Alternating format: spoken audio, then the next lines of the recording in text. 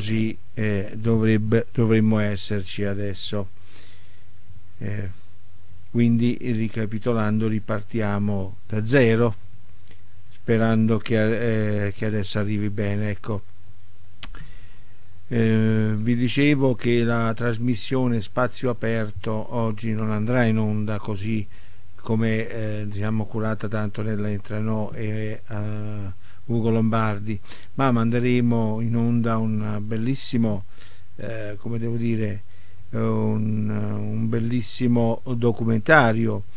Un documentario che è stato preparato, è stato prodotto da Pianeta OGTV, da, curato tutto da Massimo Bonella dura 30 minuti, quindi in, non vi annoierete, ma soprattutto scoprirete delle cose molto molto interessanti in questo documentario, perché le foibe fanno parte della nostra storia, la storia italiana, no? quindi non ce ne possiamo dimenticare. Prima di passare alle foibe però volevo leggervi qualche articolo oppure darvi qualche notizia, come si suol dire, perché ce ne sono tre che mi hanno colpito maggiormente e riguardano esattamente eh, il governo dove eh, Salvini e Di Maio stanno già litigando perché Salvini ha detto a Di Maio eh, da solo doveva eh, gli mancano 90 voti, a noi mancano 50, insomma poi c'è stata la replica. Eh, dice eh, vuole quelli di Renzi, auguri, insomma, già ci sono queste scaramucce all'interno eh, di, di questa intesa che c'è stata per fare giusto i presidenti delle due Camere. Comunque entrambi i leader tirano in ballo direttamente o indirettamente il Partito Democratico. il PD c'entra sempre, cari amici, a quanto sembra che però almeno a sentire il presidente uscente Erfini eh, si è tirato fuori. Eh, si, eh, si, sentono, si vedranno, insomma, si accumulano. Insomma, è un Truman Show eh, del rapporto tra Matteo Salvini e Luigi Di Maio che si arricchisce anche di un nuovo capitolo eh, anche questo pubblico, il botta e risposta sui numeri per fare un governo, insomma. È molto singolare questo fatto. Va bene. Poi passiamo a un altro argomento che è molto tragico, eh, do, che, che, è successo a Livorno, che è esploso un serbatoio in un porto. Ci sono due operai morti. Nogarin ha detto più rabbia che dolore e Rossi ha risposto bollettino di guerra. Insomma, le vittime stavano effettuando alcuni lavori di manutenzione eh, fuori dalla cisterna svuotata dopo aver eh, contenuto a, queste cisterne avevano, avevano, contenuto acetato di etile. Eh, insomma, questo è il quinto incidente sul lavoro mortale in nove eh, nell'area appunto dello scalo toscano. La segreteria della CISL ha detto non si può continuare a morire eh, di lavoro. Comunque è veramente drammatica questa cosa. Il terzo, la terza notizia che voglio darmi riguarda eh, il funerale di Fabrizio Frizzi. Insomma, sapete questo conduttore, sto ragazzone, anche se insomma, era avanti nell'età, sembrava più, più giovane a vedersi, no? sempre sorridente, Fabrizio Frizzi, insomma. Ci sono stati funerali e quindi una, una piazza gremita. Alla fine della messa eh, ci sono stati conti e la clerici, insomma, commossi, che hanno letto la preghiera degli artisti. Piazza del Popolo proprio era, straboccava di gente, giovani, famiglie, anziani, insomma tutti erano riuniti nell'area circostante eh, alla chiesa degli artisti per il funerale appunto di Fabrizio Frizzi. Presente tanti volti noti, amici dello showman come eh, Giancarlo Magalli, Massimo Giletti, Antonella Clerici, Milli Carducci, Max Biaggi, Paolo Bonolis, Amadeus, Massimo Ranieri, Max Giusti, Marino Bartoletti. Tutti hanno detto un fratello. Proprio lo ha detto Carlo Conti commentando, un fratello. Visibilmente commosso era comunque entrando in chiesa, eh, nella chiesa degli artisti comunque anche Fa, Fabrizio Frizzi se n'è andato se n'è andato per un male eh, questo male insomma stava lottando per questo male Adesso cari amici passiamo a quello che è il nostro argomento del giorno, appunto le foibe e questo documentario. Quindi vi ripeto, questo è uno speciale di spazio aperto. Trasmetteremo questo documentario prodotto eh, da pianetaoggitv.net e dal giornalista Massimo Bonella siamo orgogliosi di mandarlo in onda anche se è stato mandato è andato in onda sta andando in onda sulle televisioni sul digitale terrestre. Buon ascolto cari amici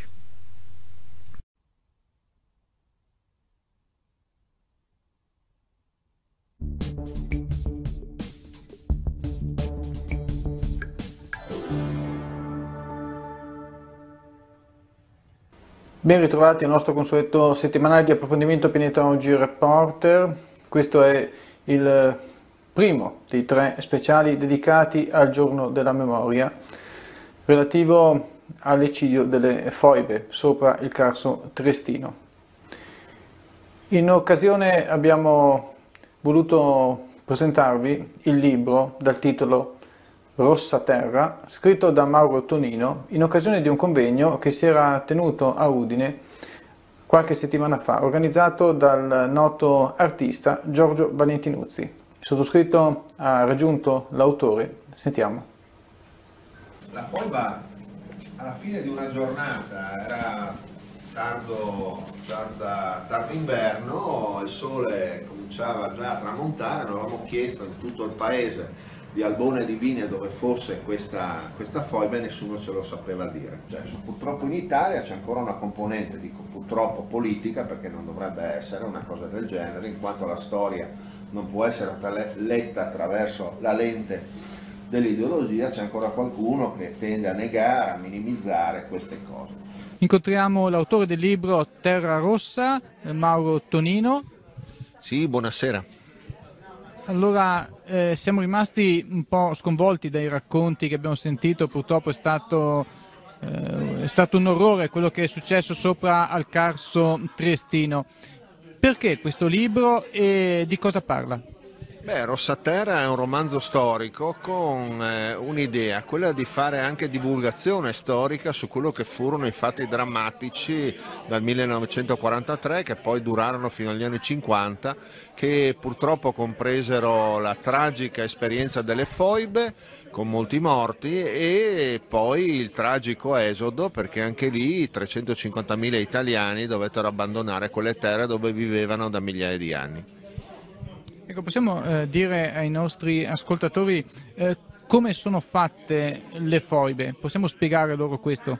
Sì, le foibe sono delle fore carsiche perché è un territorio che negli anni, essendo una roccia diciamo eh, friabile ha permesso all'acqua di scavare questi buchi molto profondi, addirittura anche 100 metri, dove purtroppo sia nel 1943 ma soprattutto nel 1945 i reparti partigiani titini buttarono dentro eh, purtroppo molti italiani. L'usanza era questa, macabra, di legare cinque persone, sparare alla nuca al primo che trascinava giù purtroppo anche gli altri e le testimonianze di chi vide questi fatti è legata anche al fatto che purtroppo non si moriva subito, addirittura dopo qualche giorno, quindi una tragedia e una barbarie non giustificata da nessun fatto storico perché purtroppo nelle foibe oltre a qualche responsabile finirono moltissimi civili che non avevano nessuna responsabilità dei fatti bellici.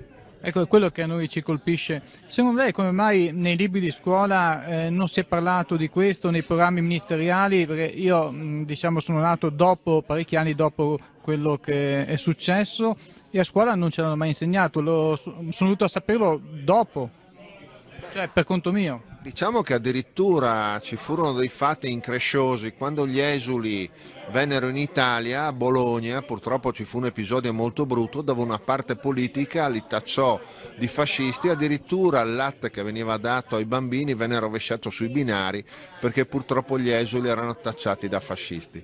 Fortunatamente la legge che istituisce il giorno del ricordo ridà dignità storica a questi italiani che purtroppo pagarono un prezzo alla storia per tutti noi.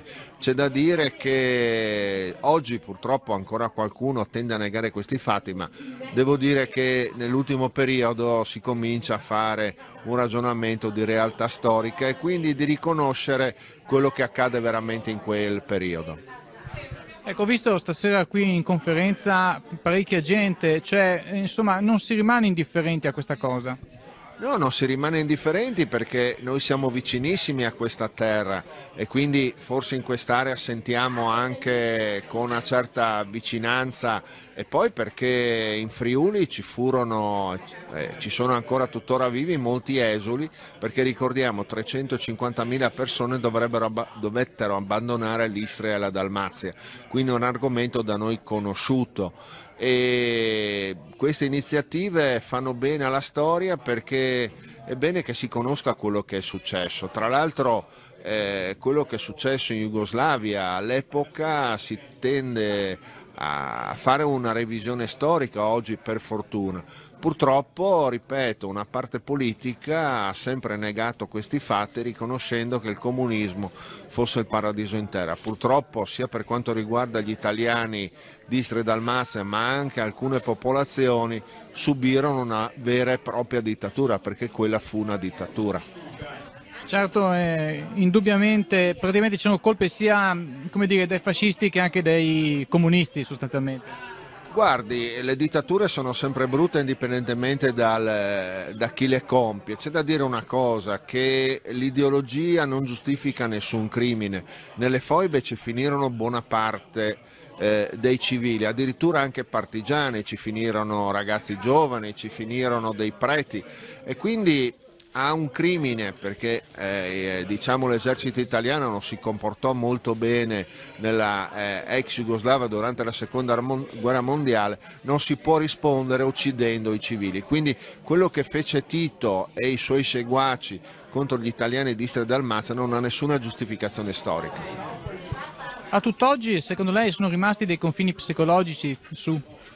Ma guardi, devo dire che gli italiani che sono rimasti là hanno superato, eh, restando in quelle terre, ovviamente guardano avanti. C'è da dire una cosa, gli esuli non hanno nessuna credine, anche se purtroppo hanno pagato per tutti il prezzo della sconfitta della seconda guerra mondiale e quindi anche loro parlano con una certa serenità, anche se con nostalgia, anche so, con dispiacere, perché molti di loro hanno perso i propri carichi, il fratello, il padre, il cugino, però eh, credo che a questa gente dobbiamo dargli almeno eh, la dignità della storia. Quindi un consiglio a noi diciamo, dei media ecco, potrebbe essere quello di continuare a parlarne anche durante tutto l'anno, non solamente nel giorno della memoria. Beh, io credo di sì, perché questo ci aiuta a capire meglio la storia, a dare una lettura eh, diciamo, più vicina alla realtà. C'è da dire questo, le vicende del confine orientale, intendendo sia eh, l'attuale confine ma anche quello che accadde di là eh, fu una situazione assai complessa perché da una parte avevamo una situazione per il nostro territorio che l'Adriatic Kusterland, cioè praticamente il Friuli Venezia Giulia, l'Istria e Dalmazia erano diventati sotto i tedeschi una provincia tedesca, quindi eravamo sotto il Terzo Reich, per cui da noi si consumò una storia completamente diversa rispetto al resto d'Italia. Ecco, questo era il punto che mi interessava eh, sapere, molto molto importante. La ringrazio e naturalmente buon lavoro. Grazie anche a voi. Riprendiamo da studio ed ora l'ultima parola all'artista Giorgio Valentinuzzi. Noi ci sentiamo, ci vediamo la prossima settimana, sempre agli stessi orari. Dunque incontriamo anche il noto artista eh, Giorgio Valentinuzzi, collaborato con eh, artisti di altissimo livello eh, che eh, un po' tutto il mondo conosce. Ecco, ti chiedo una tua opinione su questo orrore che si è consumato sulle foibe. Uh, sì, sicuramente nel revisionismo attuale le foibe fanno parte di questa nostra cultura riletta.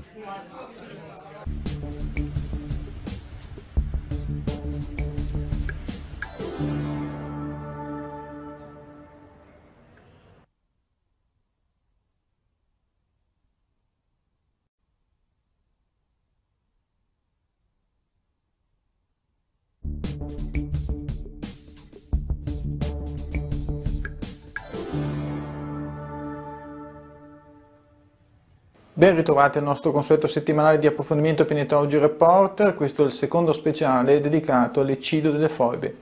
Sempre in occasione della presentazione del libro Rossa Terra di Mauro Tonino, abbiamo poi raggiunto un esule che ci racconterà la sua storia, la sua esperienza che ha avuto in quei momenti eh, tragici. Lei si chiama Nevia Gregorovic, sottoscritto l'ha raggiunta, ascoltiamo dunque questo suo racconto profughi di Monza e lì certamente era, c'era possibilità di trovare lavoro, l'Italia stava emergendo dalla situazione catastrofica della fine della guerra. E sono stati anni difficili, io sono nata nel 47 e mh, so tutto quello che è successo perché mamma e papà mi hanno raccontato poi da adulta gli avvenimenti. E, mh, è stato brutto perché anche i miei genitori, ancora prima di sposarsi nel 1945, erano in lista per eh, essere buttati in foiba, raccolti assieme agli altri, in quanto i miei genitori si consideravano italiani. E comunque mm, l'hanno scampata bella perché combinazione in quel periodo, adesso non ricordo bene il mese, eh, sono stati uccisi dai tedeschi due persone che mi ricordo mamma diceva Kalcic e Bernobic, i quali facevano la spia per infoibare le persone poco gradite e contro evidentemente il comunismo di Tito. E, ehm, erano stati chiamati combinazione dal comando tedesco di Parenzo che era eh, in pianta stabile all'Hotel Riviera all'epoca e il comandante tedesco fece vedere a mia mamma e mio papà richiamati un foglietto di carta tutto stropicciato a righe racconta mamma di aver visto i loro nomi inseriti in questo foglietto trovato nella tasca dell'assassinato o Calcic o Bernovic, non lo so. Oltretutto ehm, e a loro era stato raccomandato di stare allerta perché erano sotto tiro evidentemente dai titini, dai, dai ribelli, perché all'epoca non, non, venivano chiamati partigiani i, i, soldati di Tito, venivano chiamati i ribelli, quelli che nell'Istria proprio erano, facevano parte dell'organizzazione di liberazione. Quindi voi avevate paura che di notte vi venissero a prendere? Sì, paura, i miei genitori, io non ero ancora nata perché era intorno all'anno 1945 e racconta mamma e papà che avevano il terrore proprio di essere presi. Per fortuna comunque questo biglietto è stato trovato e l'hanno evidentemente distrutto, di conseguenza i miei speravano che, che tutto sarebbe passato eh, sotto silenzio, per cui hanno rischiato di rimanere ancora lì. In effetti erano fidanzati e nel 1946 si sono sposati. La guerra era finita, ma per, non per loro, non per noi, insomma. Ecco, lei mi conferma che lì le cose mi sono andate ancora avanti con questi orrori? Sì, con questi orrori sempre, perché c'erano spar sparizioni di persone in tutti i momenti eh, o o per, uccise perché annegate o sparivano che non ritornavano più a casa e nessuno sapeva dove fossero finiti i loro parenti, mariti, fratelli, sorelle. Cose pazzesche. Ecco, voi invece vi siete, l'avete scampata? Eh, I miei genitori sì, l'hanno scampata per un pelo, anche se eh, papà era stato preso dai fascisti perché si era rifiutato di far parte della Repubblica di Salò quando poi sotto, sotto i tedeschi raccoglievano tutti i giovani che erano stati di leva e papà è scappato e fuggito. L'hanno trovato che si nascondeva in una fattoria vicino alla sua abitazione a Parenzo e i tedeschi l'hanno portato a Trieste in Coroneo, prima a Pisino e poi a Trieste in Coroneo e lì aspettava tutti i giorni la morte perché c'erano state delle uccisioni ehm, da parte dei partigiani dei, dei tedeschi e tutti quelli che erano nel carcere ogni mattina ne contavano dieci fuori uno al decimo.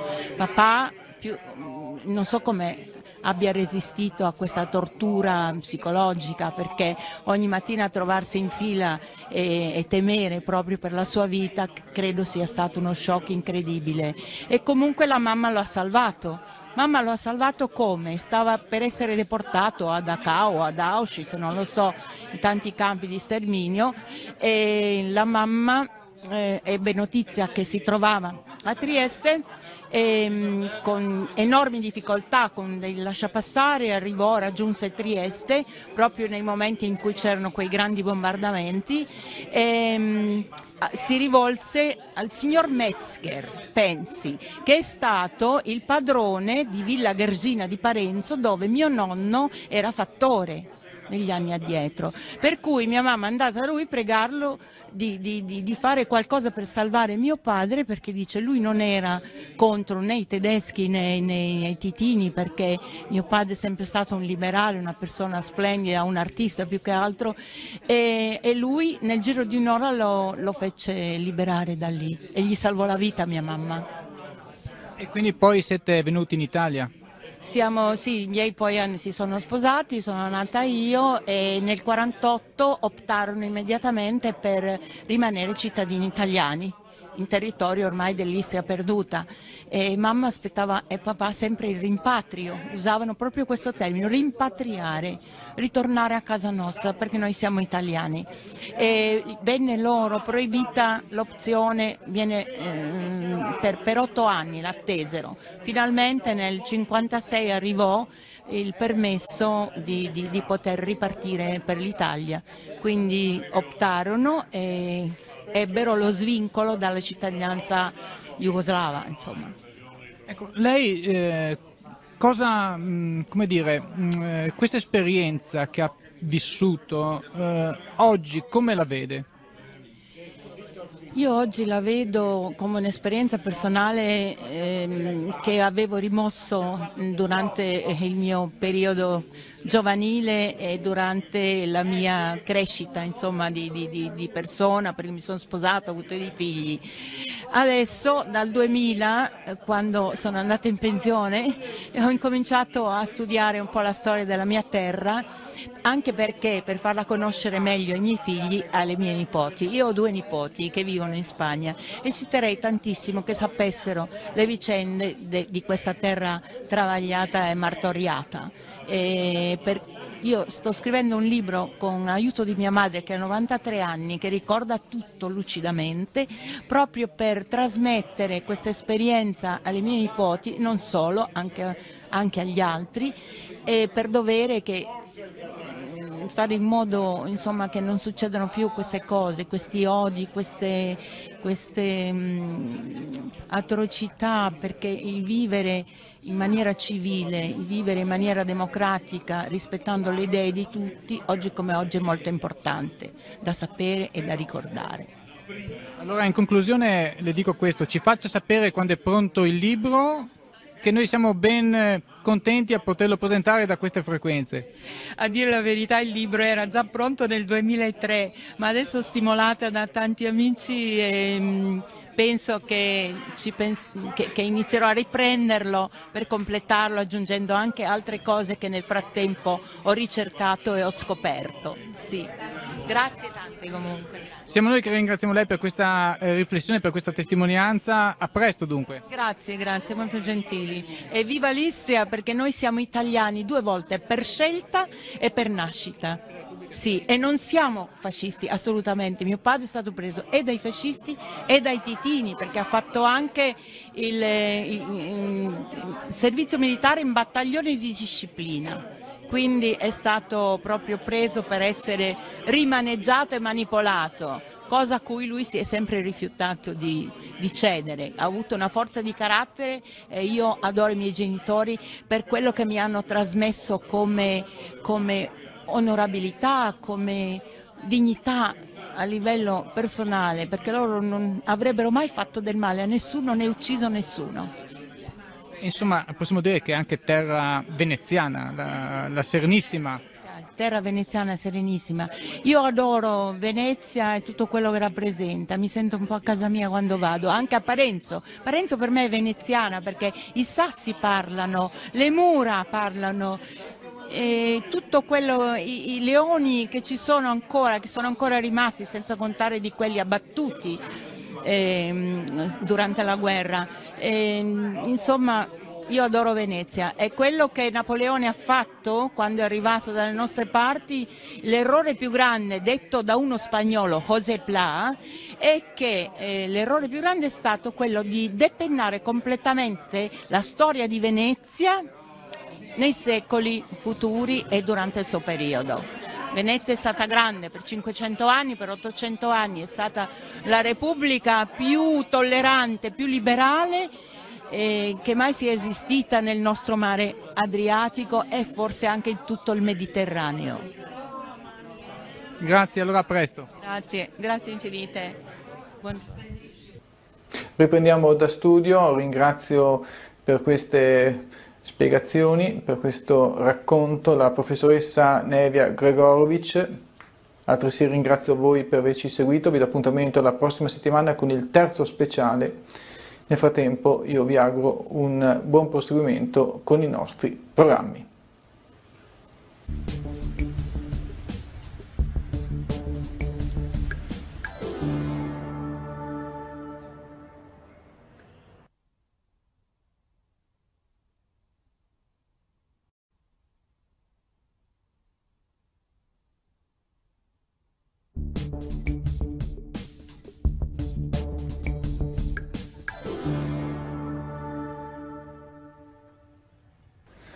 Benvenuti al nostro settimanale di approfondimento Pianeta Oggi Reporter dedicato al terzo speciale relativo all'eccidio delle foibe sul Carso Triestino. Sono accadute delle cose terribili noi vi proponiamo una sintesi della cerimonia che si è tenuta nel giorno della memoria in località Marghera, siamo a ridosso della laguna di Venezia. Presente c'era anche il prefetto di Venezia. Noi ci vediamo subito dopo, possono partire tutti i nostri servizi.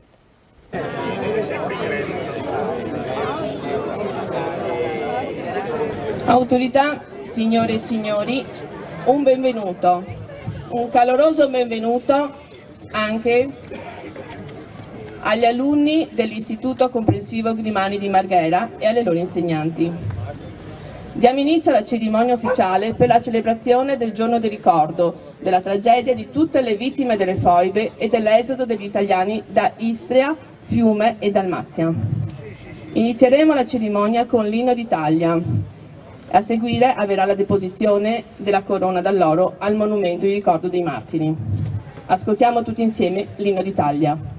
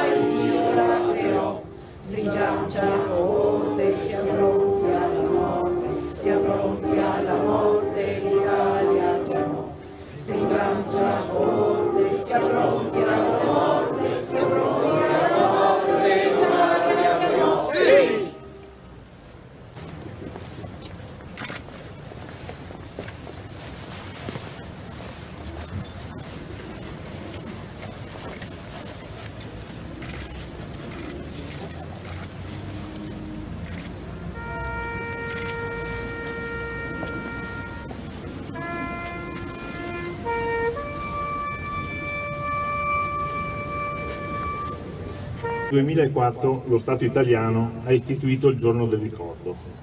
una solennità civile nazionale celebrata il 10 febbraio di ogni anno in ricordo delle vittime delle foibe, degli esodati e di tutte le vittime della più complessa vicenda del confine orientale. Da ciò che resta ancora oggi, inspiegabile è l'efferatezza con la quale i partigiani comunisti perpetravano le esecuzioni. Le vittime, prima di essere uccise, subivano maltrattamenti indicibili. Gli uomini venivano torturati per giorni, le donne stuprate e seviziate senza alcuna pietà. Sfiniti dalle violenze, i condannati venivano trasportati su degli enormi furgoni stipati come animali e portati nelle vicinanze delle foibe, delle profondissime golle di roccia tipiche della zona Venezia-Giulia, dell'Istria e della Dalmazia. Gli italiani erano legati insieme con il fil di ferro in gruppi di due o tre. I partigiani, per non sprecare le pallottole, giustiziavano con un colpo secco in testa solo una delle vittime che cadendo nella foiba si trascinava dietro anche chi era legato con lei. In moltissimi quindi morirono per le fratture riportate nella caduta, di fame o di stenti, in quelle che si trasformavano in pochissimo tempo in vere e proprie fosse comuni naturali. Si stima che in appena un mese fra settembre e l'ottobre del 43 vennero giustiziati e gettati nelle gole carsiche dei comunisti più di 600 italiani, non solo. È impressionante ciò che è emerso dallo studio della foiba di Basovizza, dove venivano portati i condannati a morte della zona di Trieste. In soli tre anni, dal 43 al 45, la profondità di quello che nasceva come un pozzo minerario diminuì di quasi un terzo, Dopo la fine della guerra vennero ritrovate un numero di salme che occupava più di 500 metri cubi di spessore. Sarebbero oltre 2000 i corpi estratti solamente a Basovizza. Quasi tutti gettati nella foiba da vivi e deceduti in un'indicibile agonia dopo un volo di 200 metri. Ogni giorno, a proposito di marea migratoria, da sinistra arrivano sermoni moraleggianti sul dovere dell'accoglienza generalizzata e incondizionata di stranieri Eppure, se nella nostra storia nazionale qualcuno ha da fare un mea culpa sull'accoglienza dei profughi, è proprio la sinistra, almeno quella comunista. Il terrore generalizzato di quella pulizia etnica costrinse migliaia di persone alla fuga, per sfuggire alle fucilazioni e alle foibe, per sottrarsi alle persecuzioni del regime titino, circa 350.000 italiani fuggirono via dalle città e dai paesi dove erano nati, dove erano vissuti e dove erano sepolti i loro avi. Dovettero abbandonare le loro case e perdere i loro beni. Fu dal 1945 un esodo biblico di migliaia di povere famiglie che arrancavano con poche valigie per trovare rifugio in Italia, dove avrebbero avuto un assoluto dovere di accoglienza e solidarietà, non solo perché si trattava di nostri compatrioti. Sto parlando degli italiani del Quarnaro, della Dalmazia, di Zara, Pola e Fiume. Per non dimenticare le vittime della pulizia etnica perpetrata dai partigiani comunisti italiani e jugoslavi dal 43 al 45 in Istria, Dalmazia e Venezia Giulia, perché la memoria è l'unica orma che si possa opporre al silenzio, ora non sarà più consentito alla storia di smarrire l'altra metà della memoria. I nostri deportati infoibati, fucilati, annegati o lasciati morire di stenti e malattie nei campi di concentramento jugoslavi non sono più morti di serie B. Grazie.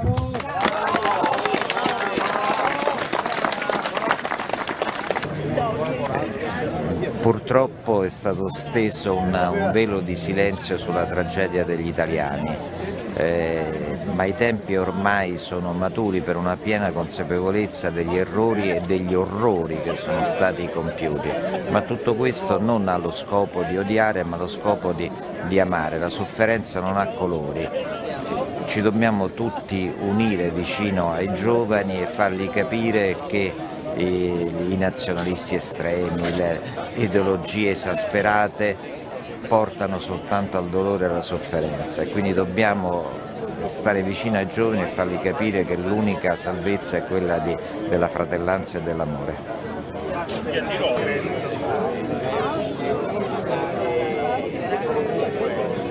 Sì, è un, è un, orrore che ha condizionato la vita di centinaia di migliaia di persone, di famiglie estirpate dalla propria città, dei propri luoghi d'origine o, o, o uccisi per questo motivo che però in Italia a fatica ma poi infine qui a Marghera in particolare sono riuscite a ritrovare una comunità, una nuova radice. Ricordiamo questo nella giornata del ricordo a Marghera, dove è nata prima ancora che venisse istituita in Italia. Ricordiamo la tragedia e ricordiamo la speranza nuova che si è aperta e che qui si è potuta concretizzare. Quindi l'abbiamo sempre sentita come una data che guarda indietro per capire cosa è successo, ma ci spinge avanti. E sull'esempio proprio dei profughi che qui sono venuti e che insieme a tutti gli altri hanno costruito una comunità nuova. Grazie. Riprendiamo da studio. Dunque sono momenti questi che ci dovrebbero far riflettere. Sono accadute, dicevo, in testa alla trasmissione delle cose veramente terribili sul Carso Triestino. Pensate fino a che punto l'uomo di questo pianeta arriva. Arriva a compiere delle cose orribili, cioè che io credo che nessun animale a questo mondo riuscirebbe ad arrivare a così tanto. L'uomo sì però. E per non parlare più recentemente, negli anni 90, cosa è successo in Bosnia. Ecco, su questo vi diamo appuntamento la prossima settimana con un altro nostro speciale. Nel frattempo vi ringrazio per la cortese attenzione. Buonasera.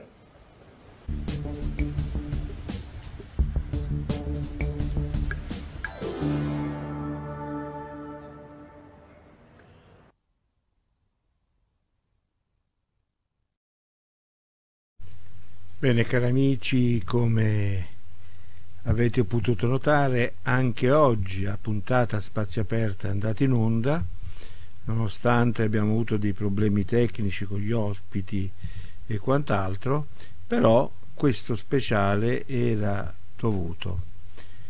Quindi avete appena visto lo speciale Spazio Aperto sulle foibe. Vi ricordo che il documentario, il filmato che avete visto, sono tre puntate diviso in tre puntate sono eh, un video prodotto da pianetaogtv.net e tutte le interviste tutto quanto è curato da Massimo Bonella il giornalista Massimo Bonella.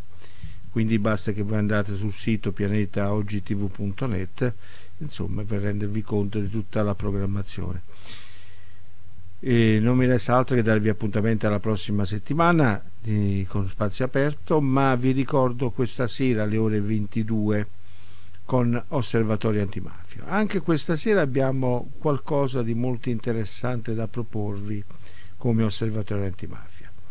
Quindi non mi resta altro che augurarvi un buon proseguimento con la nostra programmazione.